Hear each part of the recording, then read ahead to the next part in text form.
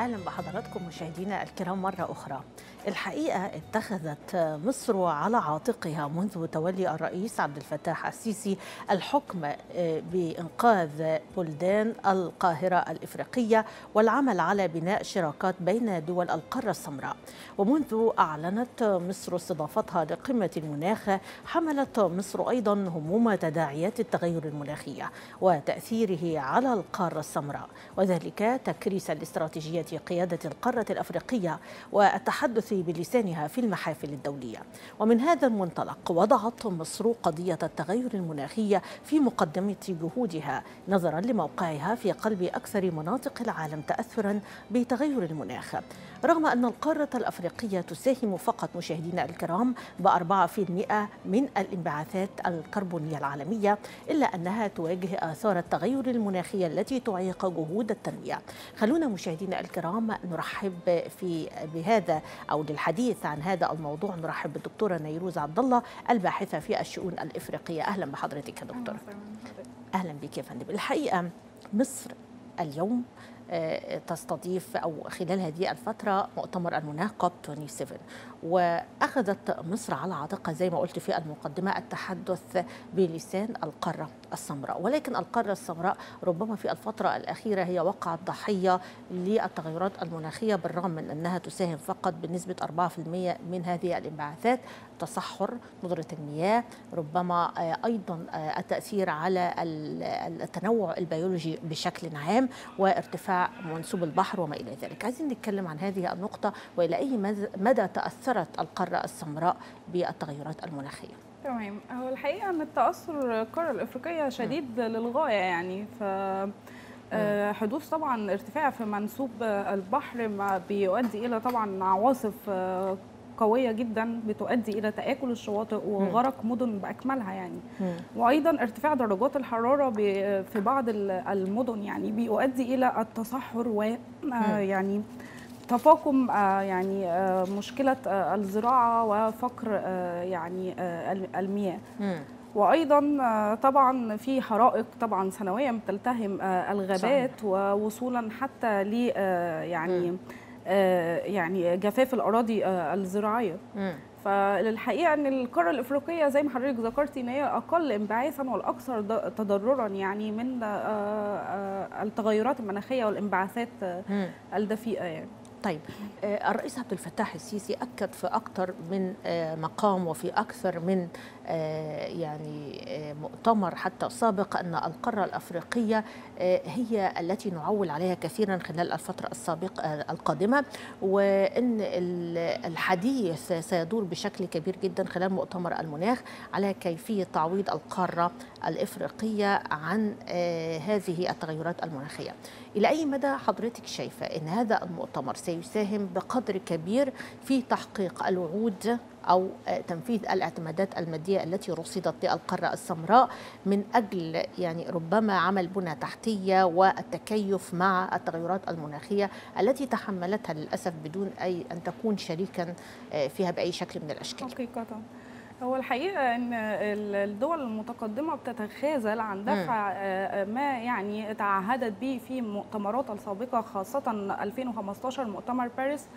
فيعني التمويلات الحقيقية على أرض الواقع لا تمثل 40% من تعهداتها السابقة. فطبعا يعني طرح يعني تفعيل أكتر لهذه يعني الاعتمادات المادية التي تم رصدها في المؤتمر السابق بالضبط يعني شيء هام للغاية طبعا آه. لتفعيل يعني أو القدره على التكيف م. مع ظروف التغيرات المناخية والاحتباس الحراري ويعني التعامل معه بشكل جيد يعني لأن يعني أهم شيء في هذا المؤتمر يعني التمويلات المالية م.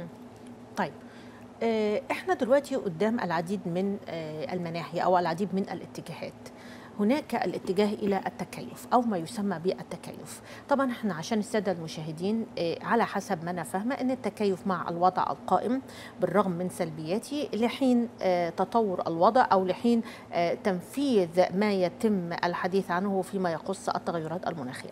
كيف يتم التكيف من قبل الدول, الدول الأفريقية لحين تحقيق هذه الأهداف الخاصة بالتغيرات المناخية؟ التكيف بيحدث من الحد من الانبعاثات الكربونية مم. يعني التغير في عاداتنا اليومية يعني آه، آه، عدم ترك بصمة يومية من آه، آه، البصمة الكربونية مم. اللي يعني مجرد قيادة السيارة بت- بتعد بصمة كربونية يعني. صحيح فالتغير في عاداتنا اليومية ويعني التقليل من استخدام الوقود الأحفوري والتوجه آه. نحو الطاقة النظيفة كالطاقة آه،. طاقة الرياح والطاقة الشمسية هذا هذا من آه، عوامل التكيف مع التغير المناخي. طيب ومفروض جدا إحنا يمكن الرئيس عبد الفتاح السيسي في أكتر من مرة يعني اتكلم كتير على معركة الوعي وإحنا عندنا مهم جدا عشان آه، نخلق نوع من أنواع التكيف أو نفهم الناس يعني إيه تكيف لازم يكون في وعي خلال الفترة القادمة. حضرتك شايفة المواطن إزاي يقدر يتكيف بالشكل يتعاون فيه مع الدولة المصرية ويتعاون فيه مع مجريات الأمور الموجودة حاليا بحيث إن إحنا نقدر نعدي هذه المرحلة بسلام الحين آه، الوصول إلى الأهداف المرجوة من هذا المؤتمر أو من هذه الجهود الدولية. إن شاء الله. آه، يعني هو المو... المواطن بطريقة بسيطة جدا. مم. يعني ممكن بدل استخدام آه، السيارات ممكن نستخدم مواصلات النقل الجماعي. جميل. آه، عدم استخدام ال- الدفايات بالفحم التي يعني تعمل آه. بالفحم.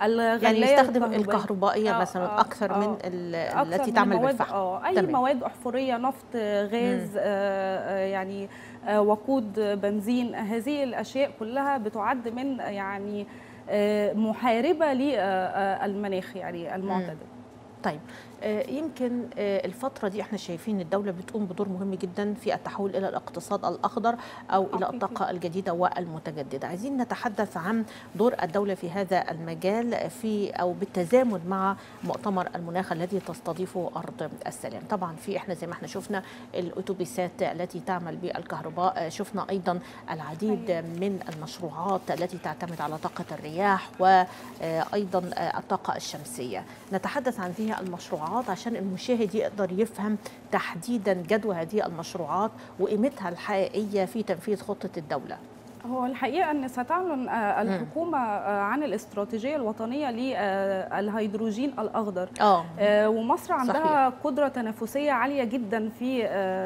هذا المجال مم. اللي هو يعني يعني عندها هدف إن هي تصل ل 8% من السوق العالمي للهيدروجين مم. فهي عندها القدرة إن هي تعمل على إنتاج الهيدروجين بأقل تكلفة في آه، العالم يعني مم. بمقارنة بالعالم يعني تمام ولكن أعتقد يا فندم يمكن في ظل هذه التحديات الاقتصادية اللي بمر بيها ربما يرى البعض أن الهيدروجين الأخضر الدولة فعلا بتخطو فيه خطوات واسعة ولكن يعني آه، اقتصاديا ربما يكلف الدولة الكثير وطبعا دي نقطة مهمة لازم نعرفها للسادة المشاهدين إن الموضوع ليس بالشيء السهل هي. خطط موضوعة من يعني من فترة ولكن الدولة بت- بتسعى بكل ما تملك من قوة إنها تحققها.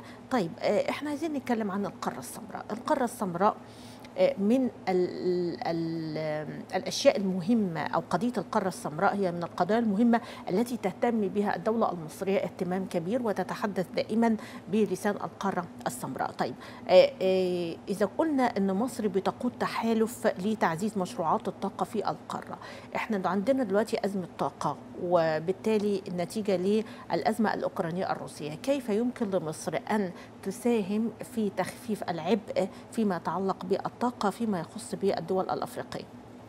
يعني هي مصر طبعا أكثر شيء فيها أو مم. آه، التصنيع إنها عندها قدرة تصنيعية عالية أكثر بكثير من باقي يعني خصوصا بعد الدعوات إلى توطين الصناعه الفترة الأخيرة. بالظبط آه. فهي آه، آه، يعني بعد نيجيريا وجنوب السودان ومصر مم. هم أق- أقوى ثلاث دول في نيجيريا وجنوب السودان ومصر. آه، أقوى عفواً ثلاث دول. جنوب إفريقيا. جنوب إفريقيا. آه آه، تمام. نيجيريا جنوب إفريقيا مصر. هم. أكثر ثلاث دول قادرين على التصنيع في القارة الإفريقية. نعم.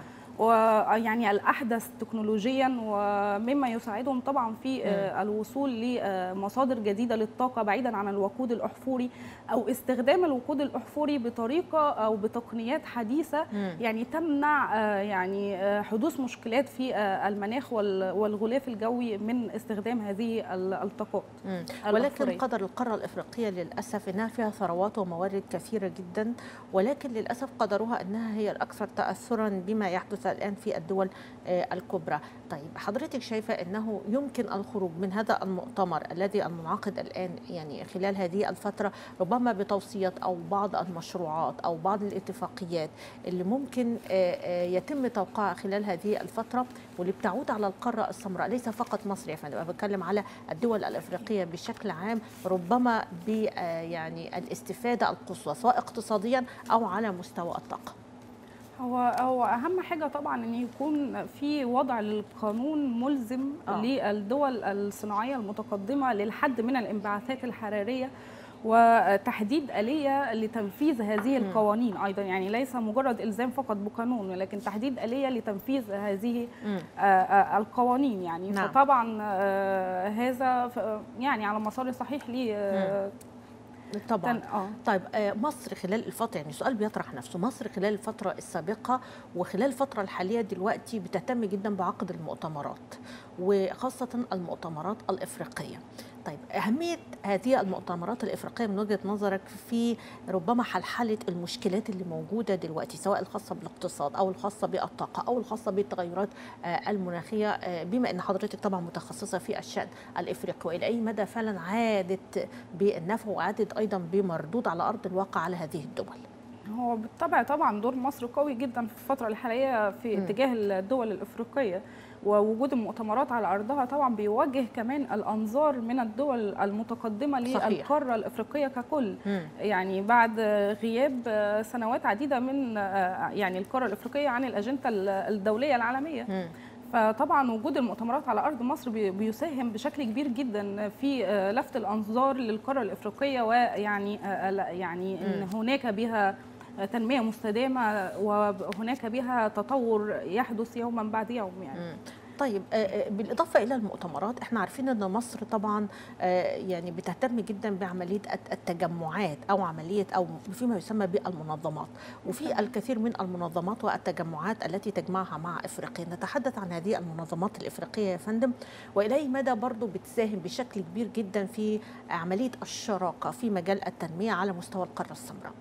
بالطبع مصر م. بتساهم طبعا هذه المنظمات ليس فقط في التنمية ولكن أيضا في اقتصاديا وتجاريا في عمليات التبادل التجاري ويعني الاقتصاد فيعني طبعا ده قوة بيعطي قوة لمصر يعني مثلا عندنا الاتحاد الإفريقي تمام. طيب الاتحاد الإفريقي حضرتك شايفة يعني حجم التعامل أو حجم المشاركة بين مصر وبين الدول الأفريقية بشكل عام كان وضعه إزاي خلال الفترة السابقة؟ الفترة السابقة طبعا يعني المشاركة قوية جدا. أنا قلت لحضرتك إن الحقيقة إن السيد الرئيس بيهتم جدا بالقارة الأفريقية في هذه الفترة. يعني اهتماما لم يكن موجود منذ فترة طويلة يعني. نعم. فطبعا لا هناك تعاملات قوية و يعني مساهمات قوية جدا. للدولة المصرية داخل القارة الأفريقية.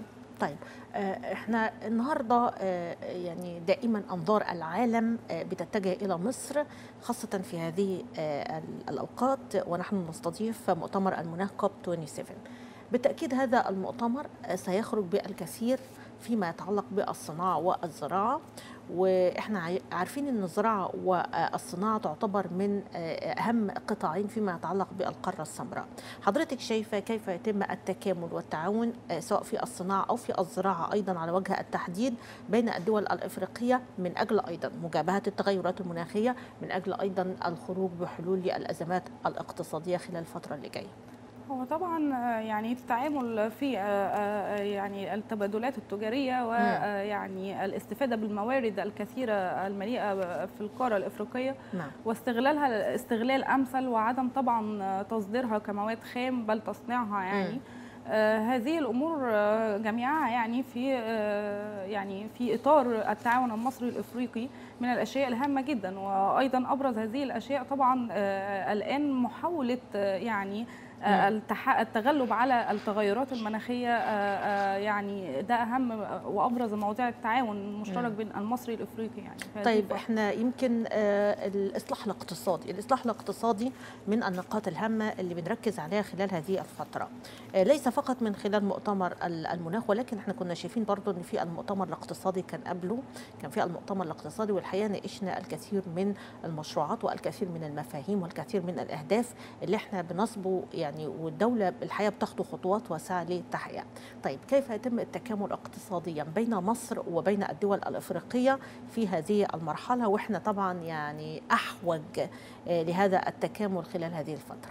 ما هو بالطبع طبعا التكامل الاقتصادي هام بالنسبة للدول الأفريقية آه وطبعا ده بيتم من خلال آه يعني المعاملات على كافة المستويات ويعني آه اقتصاديا سياسيا امنيا عسكريا يعني من خلال التدريبات العسكرية المشتركة وأيضا يعني التبادلات التجارية برضو كما ذكرنا ويعني معاملات كثيرة جدا متاحة طبعا للدول الافريقيه لتحقيق التكامل. طيب المبادرات العامة للاستفادة من الموارد الإفريقية. إحنا عارفين أن أفريقيا بتسخر بالعديد من الموارد والعديد من الثروات وهناك الكثير من المبادرات للاستفادة من هذه الموارد خلال الفترة القادمة. نتحدث عن هذه المبادرات حتى ولو بشكل عام وجدواها أيضا في حلحلة المشكلات اللي موجودة دلوقتي يا فندم. يعني طبعا هناك مبادرات عديدة يعني للتعامل مع الأزمات داخل القاره الإفريقية. ومصر طبعا بتسعى للقيام بدور قيادي في هذه المشكلات الحالية يعني في القاره الإفريقية. طيب إلينا عبر الهاتف المهندس عبد الخالق عياد رئيس لجنة الطاقة والبيئة والقوى العاملة بمجلس الشيوخ. أهلا بحضرتك يا فندم. الآن متواجد في المؤتمر في أرض السلام في شرم الشيخ. كيف رصدت مجريات هذا المؤتمر خاصة فيما يتعلق بالطاقة وفيما يتعلق أيضا بالتعامل مع معطيات الوضع الحالي الخاص بالتغيرات المناخية؟ تفضل يا فندم. أنا هقول لحضرتك هو طبعا إحنا الوقت بتاع مجلس الشيوخ إحنا وصلنا النهارده يعني بعد الظهر. قدامنا بكرة إن شاء الله يوم جميل حافل طول النهار هنحضر أول يوم هنحضر اللي هو الكلام اللي هيتقال على طرق التمويل نعم. تمويل مشروعات المناخ. بيسموه الفاينانس دي يعني اليوم بتاع التمويل أو المال. نعم. فده يوم الناس كلها مقبلة عليه. إن شاء الله هنقعد طول النهار في الجلسة ديت. يعني الصبح الساعة 6 فيها كلام كتير عن تمويل المشروعات يعني. طيب أنا كنت لسه بتكلم دلوقتي يا فندم مع دكتور نيروز فيما يتعلق بشق مهم جدا وهو شق التكيف. يعني خلال هذه الفترة تم الحديث عن هذه النقطة أنه يجب أن يكون هناك نوع من أنواع التكيف مع الظروف الحالية بالإضافة أيضا إلى تحقيق ما تصبو إليه القارة السمراء تحديدا في الحصول على الاعتمادات المادية المرصودة من قبل الدول الكبرى. هو الحتة أنا هبتدي بالجزء الأخراني اللي هو بتاع القاره الأفريقية القاره السمراء هو الحقيقة إحنا بعد ما نزلنا من الاتوبيس للهوتيل فخرجنا كده من الهوتيل يعني كان حوالي المغرب كده. نعم. فالحقيقة لقينا تجمع شبابي إفريقي إحنا المجموعة بتاعت مجلس الشيوخ. لقينا تجمع شباب شباب إفريقي الحقيقة واقف قدام الاوتيل جميل جدا فاشتركنا معاهم في حوار. رائع. رائع رائع. يعني أنا الحقيقة منبهر بهذا الشباب الأفريقي الواعد الصاعد. بساطة في في اللبس. إنما إنما يعني علم وذكاء ومعرفة وتنمية نعم. وحب لمصر مش قادر أوصفه يعني. طيب يعني فإحنا اتكلمنا معاهم. يعني لفت نظري إن هم بيقولوا الآتي كده عناوين يعني لو أنا لخصت كلامي في عناوين هم مقتنعين نعم. الشباب ده مقتنع إن مستقبل للقاره الإفريقية. وطبعا هم ما بيتكلموش كلام نصره مستقبل القارة الإفريقية هم كان من من توجو ومن تنزانيا ومن من مالي. نعم. فكانوا بيقولوا إن إحنا عندنا الموارد الطبيعية عندنا مم. مواردنا الطبيعيه رغم رغم يعني اللي ضاع منها أو اللي اتاخد منها انما إنما اللي باقي كتير قوي. عندنا كل حاجة تقريبا عندنا تؤهلنا إن إحنا المستقبل يبقى لينا. وهم م- بيقولوا إن إحنا امتلكنا العلم يعني كان زمان إحنا ما عندناش العلم ما عندناش التقنية. فبيقولوا إحنا اتعلمنا دلوقتي في الجامعات واتيحت لنا العلم في. في جامعات في إفريقيا وفي بلادنا وجامعات في الخارج كمان لأن طبعا هم نعم. في دول منهم عندها بترول ودول منها عندها عندها يعني كده رائع وابتدوا بقى يتعلموا فأنا الحقيقة سعدت جدا بالشباب ده وأنا ناوي بقى خلال المؤتمر ده أكثر من الجلوس معاهم والحديث طيب يا فندم آه، يعني بالتأكيد هؤلاء الشباب الحقيقة أكيد هناك يعني يعني في الفترة آه، القادمة نعم آه، نوع من التكامل ونوع من التعاون بين الشباب المصري والشباب الإفريقي وهذا ما تصبو به إليه أنا- الدولة أنا- المصرية. مش شباب على فكرة أنا يعني لا أنا فاهمة يا فندم. أكيد طبعا حضرتك طبعا أستاذنا وحضرتك آه،. قدوة يعني لهؤلاء الحقيقة الشباب. هقترح هقترح على طبعا الحكومة وزارة الثقافة وزارة, وزارة الأعلام وزارة كده. نعم. آه، التعاون الدولي. آه، إن إحنا نعمل برنامج نستضيف الشباب ده. يعني مم. نستضيف الشباب ده على مدار السنة كده. نوري له المشروعات اللي إحنا بنعملها. نعم. نوري له فرص الاستثمار اللي عندنا في مصر نقعده مع الشباب اللي مم. عندنا اللي إحنا إن شاء الله هم ذخيرة في المستقبل يعني أنا نفسي نعمل برنامج بقى لأن نتوجه شوية للقاره الافريقيه مم. من ناحية طيب الشباب. آه، عايزين نتكلم بقى في إفريقيا تحديدا يعني محاور الطاقة في إفريقيا تحديدا وكيفية أيضا آه، الاستفادة من تجارب آه، الربط ربط الكهرباء تحديدا في مصر بالدول الإفريقية وعرض مثل هذا المشروع على هذا المحفل العظيم الكائن الآن في شرم الشيخ. أيوة. هو عايز أقول لحضرتك حاجة. هو طبعا الجنوب القرن الإفريقي اللي هو اللي إحنا بنسميه بقى ال- القرن الإفريقي اللي هو يعني نيجيريا واكواتوريا الجنوبيه غينيا الاستوائيه وغينيا. وجنوب أفريقيا جنوب أفريقيا طبعا عندها سورسز كويسة قوي من الفحم نعم. إنما عندك بقى الحتة نيجيريا طبعا عندها بترول كبير آه، المفاجأة بقى الحصينة السوداء هي مثلا غينيا الاستوائية. غينيا الاستوائية. بتنتج قد الإمارات. مم. وهم شعب صغير يعني. مم. آه، كينيا فيها مشاريع كبيرة قوي. إنما هو الفكرة دلوقتي إحنا في مؤتمر المناخ. هم الشباب ده واعي هم مش مش هيعتمدوا على البترول. مش عايزين يبقى الناتج المحلي بتاعهم جاي من البترول. نعم. هم عايزين يعني ي- ي- يتمشوا بقى ال- اللي جاي. عايزين. يعملوا بقى. هم عندهم مية عن- عندنا مية كتير جدا في أفريقيا. عايزين يستغلوا بقى مساقط المياه. على فكرة إحنا آه، يعني مصر مشتركة مع تنزانيا. بنعمل دلوقتي سد. تنزانيا إن شاء الله. يفتتح قريب يعني سد مياه يولد كهرباء. نعم. هم بيبصوا للحاجات دي بقى. هيتعاونوا في مصر. إحنا عندنا خبرة وعندنا تجربة وعندنا. تاريخ. آه، فهم م- مش هيعتمدوا على البترول ولا على الغاز طيب يا فندم يعني كيف تساعد أيضا المبادرات متعددة الأطراف الإفريقية تحديدا آه، في ربما جذب المستثمر الأجنبي للاستفادة من الثروات آه، الطبيعية والموارد الموجودة في أفريقيا خلال الفترة القادمة خاصة وإحنا بنمر على مستوى العالم بأزمات اقتصادية آه، طاحنة وان الأوان ربما في التفكير خارج الصندوق خلال هذه الفترة.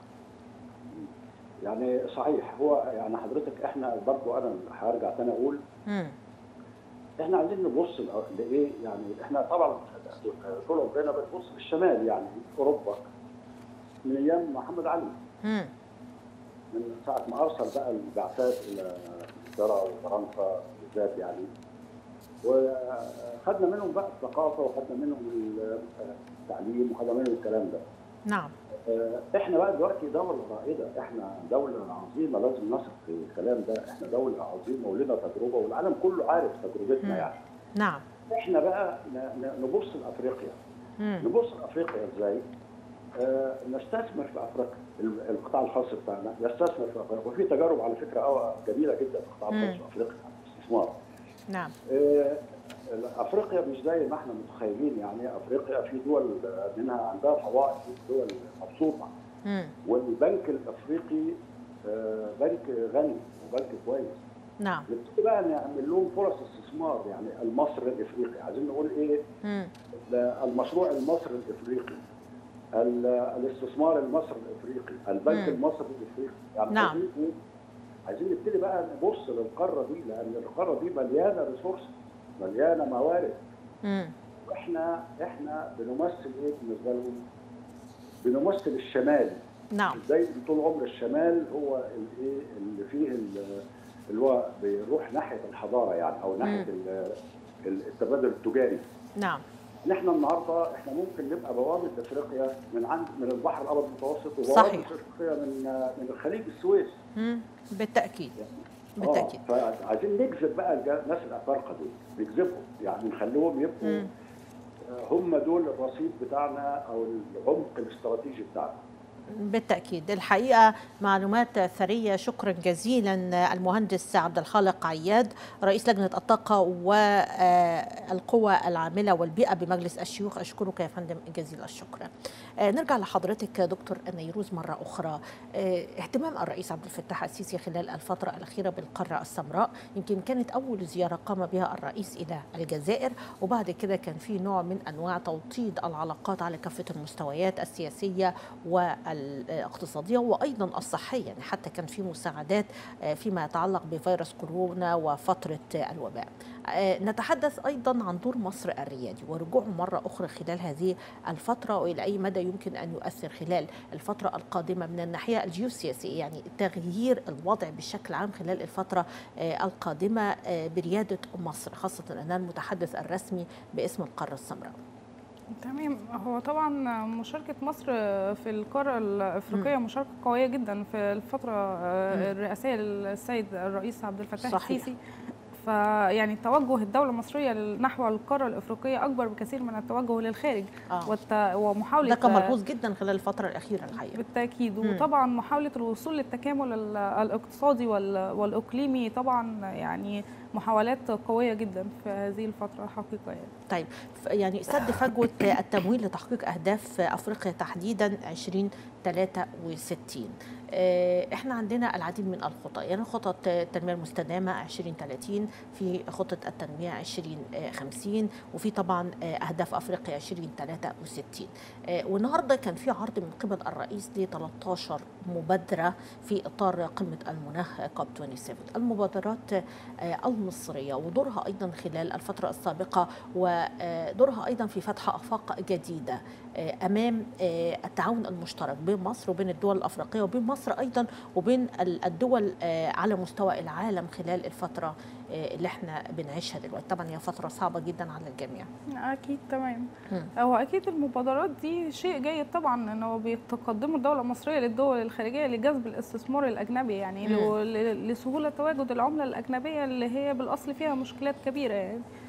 آه، وأيضا تمويل ال- المناخ يعني يعني تمويل أزمة المناخ آه، الحالي طبعا المبادرات دي بتفتح ليهم طريق. إن هم آه، يعني من خلال استثمارات من خلال توجههم للقارة الأفريقية إن هم يفي بوعودهم تجاه التمويل آه، المناخي يعني لازمات آه، آه، التغيرات المناخية الحالية. آه، محور مهم جدا لا يمكن يعني أن نغفله وهو آه، محاربة الإرهاب. مصر استطاعت آه، التحدي يعني أو مجابهة جميع التحديات الأمنية خلال الفترة السابقة وكان ليها دور مهم جدا آه، يعني لفت انتباه العالم كله فيما يتعلق بمكافحة ظاهرة الإرهاب. وأيضا الرئيس نوه عن آه، أكثر من مرة عن أنه يعني أو مصر حاضرة وبقوة في مكافحة الإرهاب أيضا داخل القارة. الإفريقية. دور مصر في استتباب الأمن ومكافحة ظواهر الإرهاب في الدول المجاورة واللي أكيد بتاثر بشكل أو بآخر على مصر أو على شقيقتها من الدول الأفريقية الأخرى. تمام هو دور مصر طبعا هي بتشارك في بعثات حفظ السلام بشكل كبير جدا صحيح. في في آه أكتر مم. أكثر من بعثة يعني مم. وأيضا بتشارك في مجلس آه، السلم والأمن الإفريقي. بقوة برضو آه آه. فطبعا دورها قوي جدا في مجابهه الإرهاب داخل ال- الدولة المصرية وخارجها أيضا في القاره الإفريقية مم. طيب طيب يا فندم الحقيقة يعني دور مصر الحقيقة قائم ومصر بتقوم بخطوات واسعة خلال هذه الفترة وإن شاء الله يعني نتمنى خلال المرحلة القادمة أن تحظى يعني الدولة المصرية بما تريد من هذه المشروعات وهذه المبادرات و وهذا الدور الكبير. الحقيقة مصر شايلة هموم ليس فقط الداخل ولكن أيضا هموم القارة صحيح. الإفريقية إن لم يكن هموم العالم كله. صحيح. شكرا جزيلا دكتور نيروز عبد الله الباحثة في الشؤون الإفريقية بجامعة القاهرة. كنت ضيفة كريمة معنا. أشكرك يا فندم جزيلا الشكر. مشاهدينا الكرام زي ما قلنا كده إن مصر دائما يعني تحمل على عاتقها موضوع الريادة. ليس فقط الريادة على مستوى الشرق الأوسط أو الدول الإفريقية ولكن أيضا على مستوى الإقليم بأكمله. مصر في الوقت الحالي هي المتحدثة الرسمية باسم القارة السمراء. مصر هي من تتحدث الآن عن الاعتمادات المادية للقارة السمراء. مصر هي من تقوم بالعديد من المشروعات التنموية والربط على بكافة أو على كافة المناحي مع القارة السمراء. مصر هي دائما حريصة أيضا في ربما الانضمام إلى العديد من التجمعات الإفريقية ومنها طبعا الاتحاد الإفريقي لتحقيق أهداف المشاركة والتعاون في جميع المجالات السياسية والاقتصادية. والاجتماعية. مصر هي من حملت هموم القارة السمراء خلال خلال فترة كورونا وكلنا شفنا كم المساعدات الطبية والصحية التي تقدمت بها مصر إلى الدول الإفريقية الشقيقة. مصر هي من تحمل راية القارة السمراء وهي من تدافع عن حقوق قارة أفريقيا. مشاهدينا الكرام يعني كنت سعيدة جدا بلقائي مع حضراتكم النهاردة. الشكر موصول لفريق الإعداد وفريق الإخراج وأيضا الفريق الفني. تحياتي كنت معكم أنا رانيا البليدي إلى اللقاء.